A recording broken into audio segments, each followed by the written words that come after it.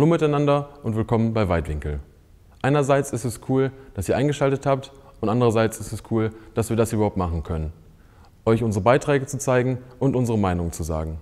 Das sicherte Deutschland unter anderem die Pressefreiheit. Pressefreiheit ist auch unser Thema. Damit ihr euch einen Begriff machen könnt, was wir damit genau meinen, kommt zunächst eine Animation, die wie immer den Begriff erklärt.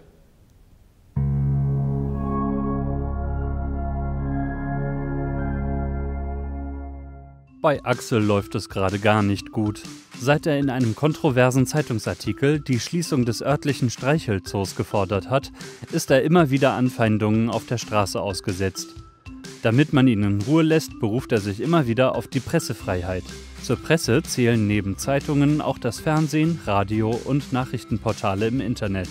Aufgabe der Presse ist die Beschaffung und Verbreitung von Informationen. Dies ist wichtig, um die Meinungsbildung des Einzelnen und der Bevölkerung zu ermöglichen. Damit die Berichterstattung auch wirklich frei und unabhängig funktioniert, gibt es die sogenannte Pressefreiheit. In Deutschland ist diese durch das Grundgesetz definiert. Zitat Jeder hat das Recht, seine Meinung in Wort, Schrift und Bild frei zu äußern und zu verbreiten. Die Pressefreiheit und die Freiheit der Berichterstattung durch Rundfunk und Film wird gewährleistet. Eine Zensur findet nicht statt. Zensur bedeutet, dass Presseberichte auf unerlaubte Inhalte hin überprüft werden. In vielen Ländern gibt es extra eine staatliche Zensurbehörde, die unliebsame Berichte streicht und somit die Veröffentlichung kritischer Inhalte verhindert. Durch den Artikel der Pressefreiheit ist jedoch die Informationsfreiheit gewährleistet, die es Journalisten ermöglicht, Einsicht in Dokumente und Akten der öffentlichen Verwaltung zu nehmen und somit für Transparenz zu sorgen. Viele Journalisten, die über Unrecht, Machtmissbrauch und Korruption berichten, laufen Gefahr, für kritische Berichte inhaftiert oder verfolgt zu werden. Freie, unabhängige Berichterstattung ohne Zensur ist die Basis einer demokratischen Gesellschaft, die Meinungsvielfalt zulässt und somit zum friedlichen Ausgleich von Interessen und Meinungen beitragen soll.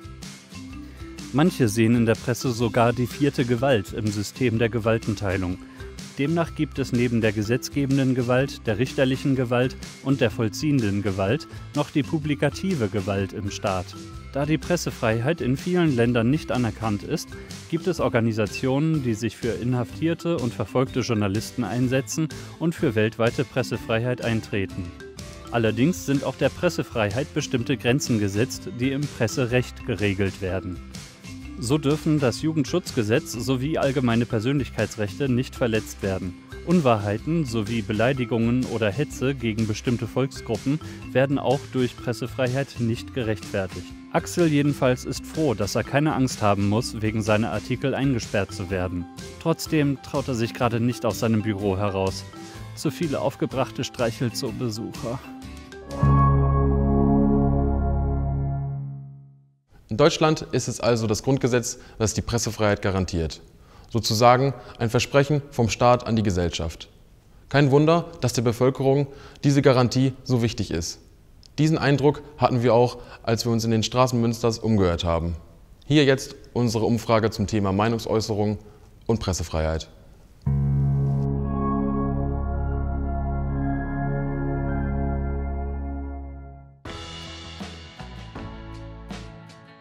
Da habe ich ein sehr gutes Gefühl, das kann ich jederzeit machen.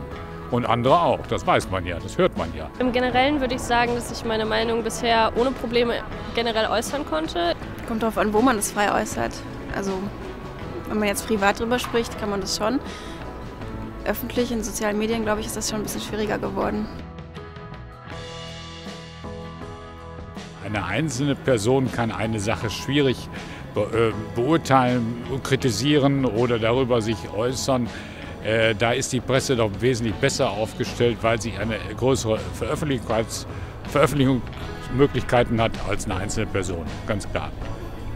Grundsätzlich ist es aber auch wichtig, wirklich die Freiheit von allen, also die, die, die Pressefreiheit und die Freiheit, dass alle oder dass jeder sich selber ausdrücken kann und das ja, darbieten kann, was er will. Damit Journalisten genau sagen können, äh, was passiert, auch, auch vor allem politisch äh, unliebsame Themen ansprechen zu können.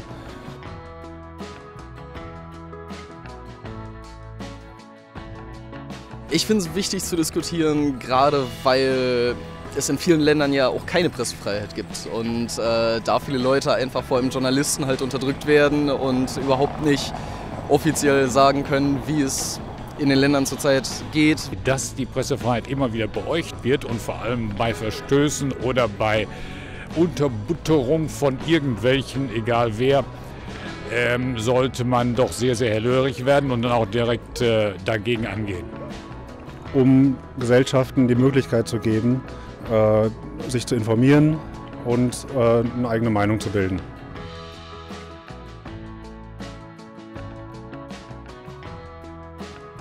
Ich meine, das Schwierige ist ja wirklich, die Lügenpresse von der normalen Presse zu unterscheiden erstmal. Man muss halt wirklich die Hintergrundinfos bekommen, man muss wissen, wer da dran sitzt, wer da die Hebel drückt und bestenfalls darauf achten, dass sowas nicht wieder vorkommt. Lügenpresse, also der Begriff an sich ist ja relativ negativ besetzt, deshalb würde ich ihn generell nicht verwenden. Ich bin aber nicht der Meinung, dass ähm, gerade öffentlich-rechtliche Medien oder die Medien, die am schnellsten zugänglich sind, immer ich, ich würde jetzt nicht unbedingt sagen, dass sie lügen. Ich würde ihnen das nicht unbedingt unterstellen wollen. Ich bin mir aber absolut dessen bewusst, dass Informationen bewusst zurückgehalten oder geändert werden in kleinen Details. Jetzt haben wir schon einiges darüber gehört, wie es in Deutschland um die Pressefreiheit steht. In der Umfrage kam aber zum Vorschein, dass es in anderen Ländern offensichtlich anders aussieht. Wir haben ein Interview mit dem Kommunikationswissenschaftler Armin Scholl von der Uni Münster geführt und von ihm erfahren, dass Pressefreiheit auch in Demokratien keine Selbstverständlichkeit ist.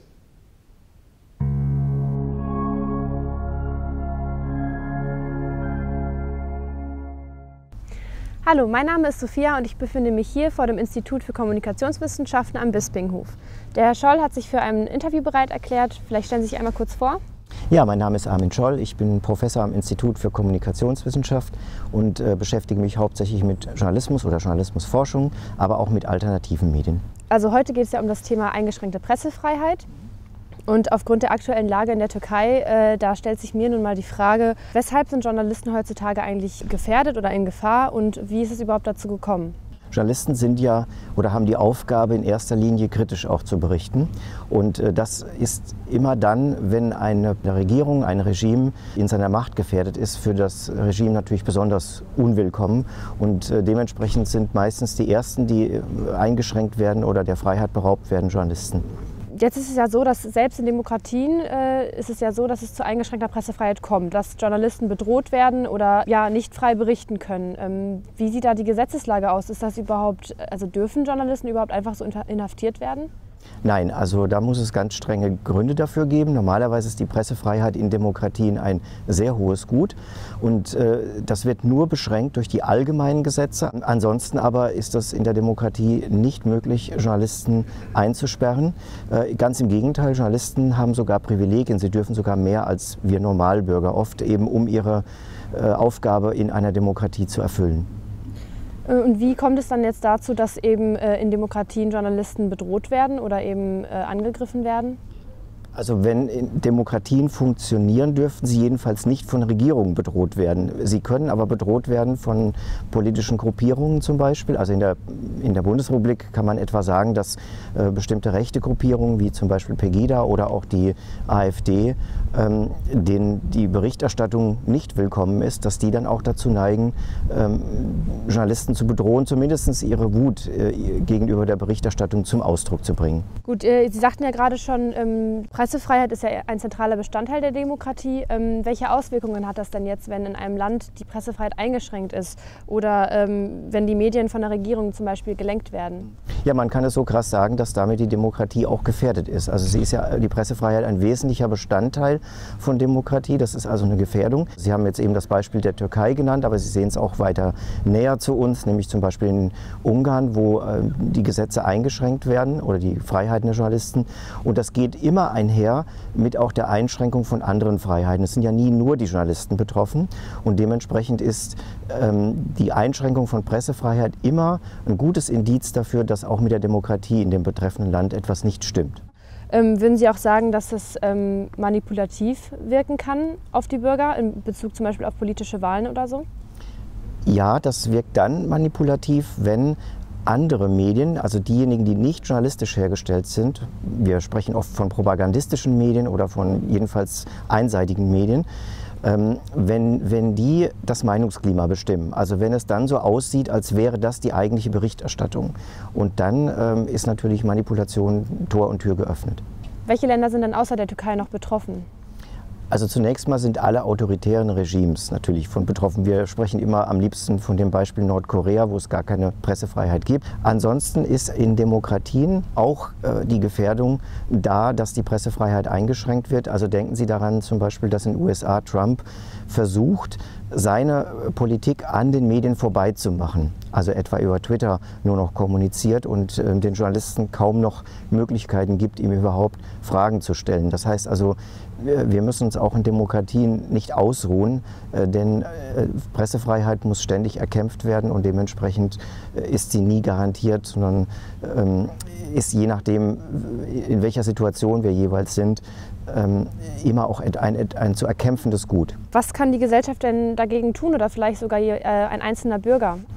Also Demonstrationen sichtbar machen von Einschränkungen sind immer wichtig. Äh, Sie haben ja eben die Türkei angesprochen, dieses Free Dennis zum Beispiel, da ging es um Dennis Yücel. Äh, die Solidarität hat letzten Endes mit dazu beigetragen, äh, dass die Türkei hier nachgeben musste. Ich glaube zwar nicht, dass das der einzige Grund war, dass er freigekommen ist, aber ähm, also die Öffentlichmachung von Einschränkungen der Pressefreiheit ist, glaube ich, das Wichtigste, was man als normaler Bürger tun kann oder in, in, Gruppen, in Demonstrationen und so weiter, in Petitionen, äh, um einfach dieses Problem selber wiederum öffentlich zu machen. Ja, gut zu wissen, dass wir als normale Bürger auch etwas bewegen können. Ähm, gut, ich bedanke mich, dass Sie sich die Zeit genommen haben und ähm, bis zum nächsten Mal. Bei aller Pressefreiheit und dem Recht auf freie Meinungsäußerung, bei bewusster Falschinformation hört für viele der Spaß auf. Gerade in den letzten Jahren hat der Begriff Fake News immer mehr an Bedeutung gewonnen. Die amerikanische Regierung rund um Donald Trump nutzt diesen Begriff immer wieder, um negative Nachrichten zu entkräften. Oftmals mit Erfolg.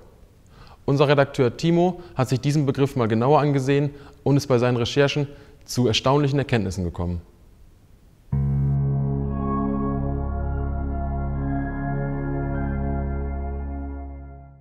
Ich für meinen Teil hole mir meine Informationen aus dem Netz. Und beim Surfen stößt man ja immer mal wieder auf Webseiten, die nicht ganz so seriös sind. Wie zum Beispiel die hier. Also habe ich mich mal mit der Website auseinandergesetzt und habe dabei festgestellt, dass sie Fake News verbreiten. Ich bin ehrlich, ich habe bis vor zwei Jahren das Wort Fake News noch nie gehört. Und ich hätte auch nie gedacht, dass gezielt gestreute Falschmeldungen auf Nachrichtenportalen äh, ein Ding ist. Deswegen habe ich mich mal ein bisschen mit dem Thema auseinandergesetzt und dabei festgestellt, dass es doch sehr weitreichend ist. Deswegen habe ich einen Termin mit Bernd Blöbaum vereinbart. Er ist Professor für Kommunikationswissenschaften hier an der Uni Münster und ich hoffe, er kann mir ein bisschen bei dem Thema helfen. Und auf dem Weg dorthin erkläre ich euch, woher die modernen Fake News eigentlich kommen und was hat eigentlich Trump damit zu tun. Ich habe ja bis vor kurzem immer gedacht, Fake News, das ist doch eine Erfindung von misstrauischen Bürgern. Die Phrase wurde dann dankend von Trump angenommen und zu einer Art Schlachtruf Trumps gemacht. Daraus fing alles ganz anders an, sogar ziemlich unerwartet. Alles begann weit vor den US-amerikanischen Wahlen in Veles, einer kleinen Stadt in Mazedonien. Die Jugendlichen und jungen Erwachsenen dort haben keine wirkliche Zukunftsperspektive und es herrscht eine hohe Arbeitslosenquote. Doch dann entdeckten sie, wie man mit Internetseiten, auf denen Fake News verbreitet werden, eine nicht unerhebliche Summe Geld machen kann. Das gibt zwar für einen Klick nur einen Cent, aber bei einer halben Million Klicks summiert sich das Ganze schon. Zudem bezahlt Google AdSense auch noch Geld für die Werbung auf den Seiten, zu denen man verlinkt wird. 2016 merkten sie, dass der Machtkampf in den USA ihnen die meisten und profitabelsten Möglichkeiten bot. Schließlich lasen nicht nur Mazedonier die Artikel über Trump, sondern eben auch Spanier, Deutsche, Holländer, Amerikaner. Man kann sagen, die ganze Welt wollte auf dem Laufenden bleiben. Und so stellten sie die ersten Fake News-Artikel über Trump und Hillary Clinton zusammen.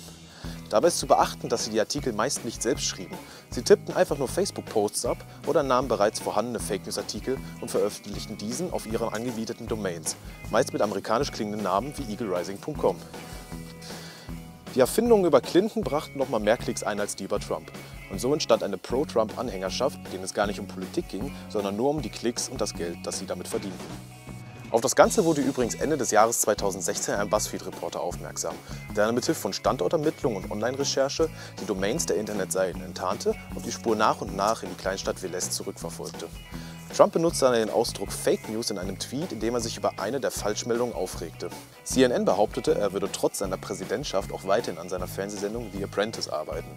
In den Tweet legte er dar, dass es sich um eine Falschmeldung, eben um Fake News handelte. Dann kam der Übergang zum Social-Media-Phänomen. Immer mehr Fake News wurden in TV und Magazinen geteilt und das führte zu Aufmerksamkeit, auch von Trump.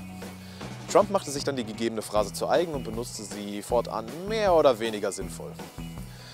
Nach aktuellem Stand hat Trump das Wort Fake News etwa 174 Mal verwendet und das nur auf Twitter. Und so kommen wir an den Punkt, an dem wir heute stehen. Neben Trump benutzen auch viele seiner Anhänger diese Phrase. Zum Beispiel Paul Goser. Dieser flüchtete vor einer CNN-Reporterin, die ihn mit unvorteilhaften Fakten konfrontierte, indem er das Wort Fake News rief und davonlief. Am Ende können wir sagen, Trump hat das Wort Fake News zwar nicht erfunden, ist aber so sehr geprägt, dass wir wohl dauerhaft seinen Namen damit in Verbindung bringen werden.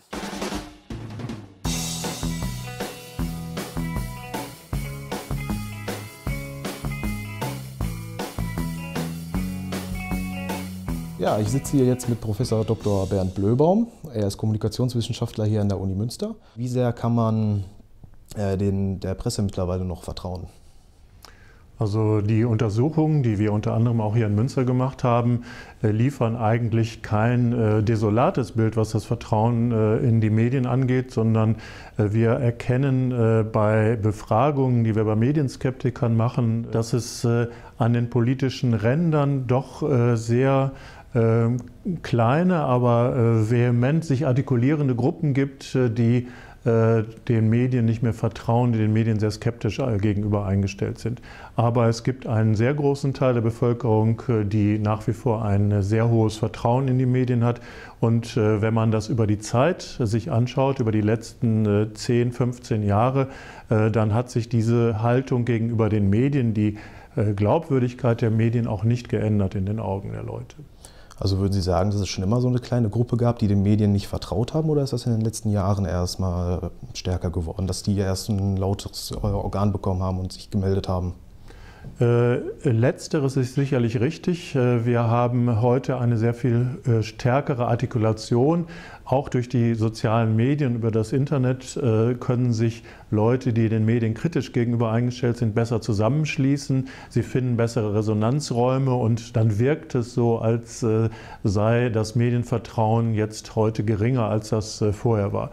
Wenn wir aber uns das sozusagen zeithistorisch anschauen, dann hat es immer äh, Menschen gegeben, die's, äh, die den Medien skeptisch gegenüber eingestellt waren. Das begleitet die Medien in ihrer historischen Entwicklung ständig. Also wir haben immer äh, es mit medienkritischen äh, Personen äh, zu tun gehabt, die zum Teil ja auch gute Argumente haben. Es gibt ja an Medien auch etwas zu kritisieren. Viele Leute vor allem die, die den Medien auch nicht mehr vertrauen, die schaffen sich ihre Informationen anderweitig und viele davon nun mal leider auch über soziale Medien wie Facebook und Twitter und Co. Und da wird nun mal auch einfach viel Schwachsinn verbreitet. Ist diese Art und Weise der Informationsbeschaffung der Leute komplett falsch oder gibt es da auch noch Sachen, wo man differenzieren sollte? Ja, also ich würde nicht äh, formulieren, dass diese Informationsbeschaffung falsch ist. Wir leben ja in einer Gesellschaft, in der sich jeder mhm. aus den frei zugänglichen Quellen informieren kann und das ist ja auch ein sehr hohes Gut.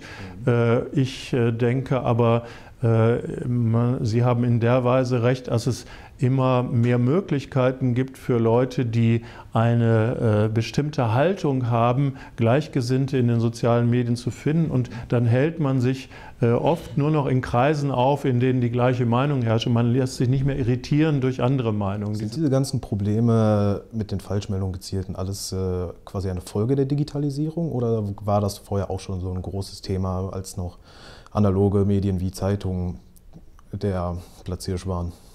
Also Falschmeldungen gab es immer und Versuche über Falschmeldungen auch äh, Interessen zu vertreten, äh, hat es auch schon vor der Digitalisierung gegeben, aber mit der Digitalisierung äh, haben sich die Dimensionen verändert. Deshalb äh, muss man, äh, kann man schon, äh, glaube ich, sagen, dass die Effekte, die negativen Effekte, die damit verbunden sind, heute äh, stärker sichtbar sind, als das in den Jahren vor der Digitalisierung der Fall war. Ich denke, äh, durch Aufklärung, äh, auch durch eine darauf ausgerichtete Medienberichterstattung, dadurch, dass man das immer wieder thematisiert, kann man schon viel tun, um diesem sagen wir mal, Gespenst der Fake News irgendwie, um das einzuhegen. Und ähm, so die äh, jüngeren Daten etwa, die zu Vertrauen in Medien äh, vorliegen, äh, geben auch eher Anlass zu Optimismus denn zu Pessimismus. Also es ist nicht so, dass das Vertrauen jetzt äh, rasant in den Keller geht und äh, wir uns äh, zu große Sorgen machen sollten.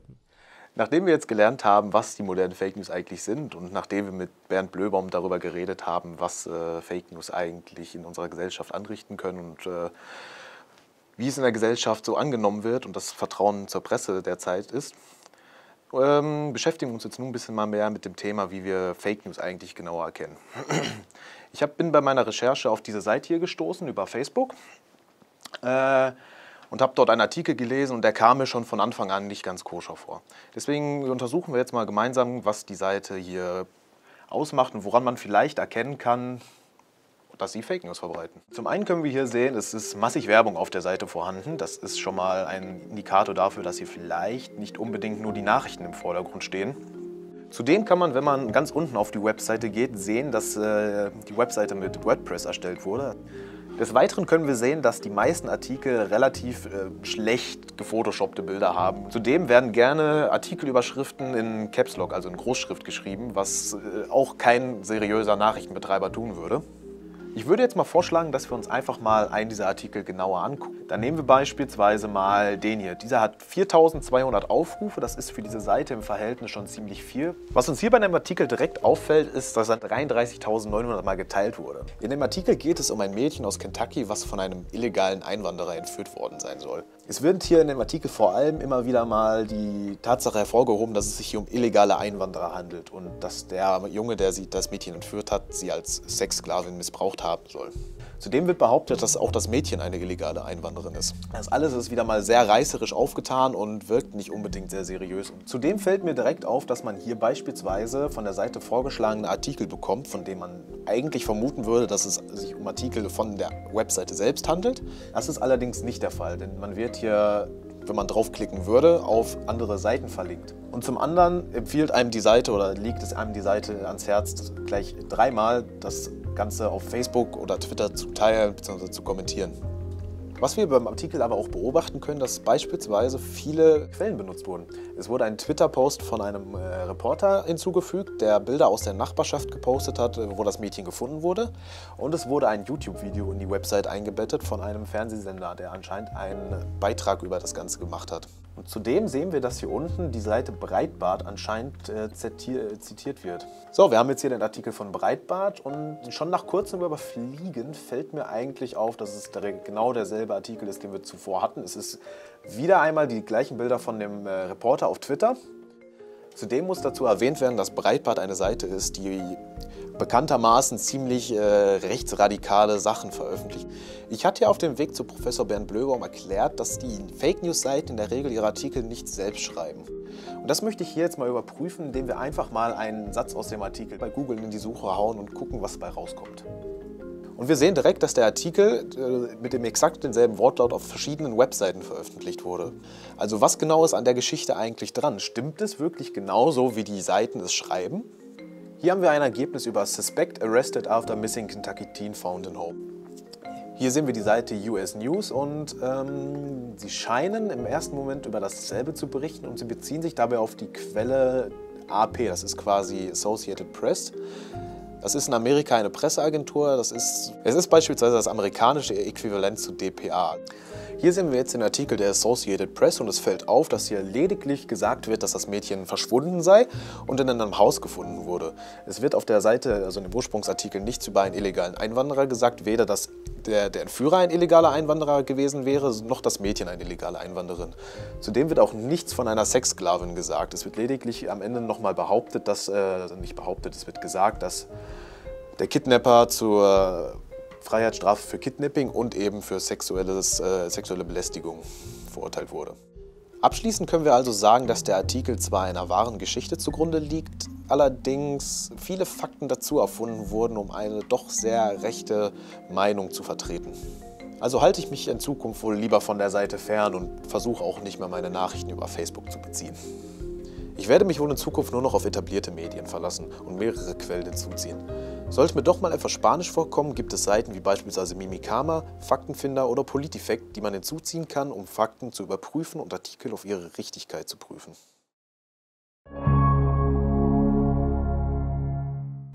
So, ich denke, wo wir jetzt eine ganze Sendung über das Thema Pressefreiheit geredet haben, nimmt sich dieser Pressevertreter jetzt mal die Freiheit und macht eine Pause. Ich hoffe, wir sehen uns in der nächsten Ausgabe von Weitwinkel wieder. Bis dahin, tschüss, bis bald.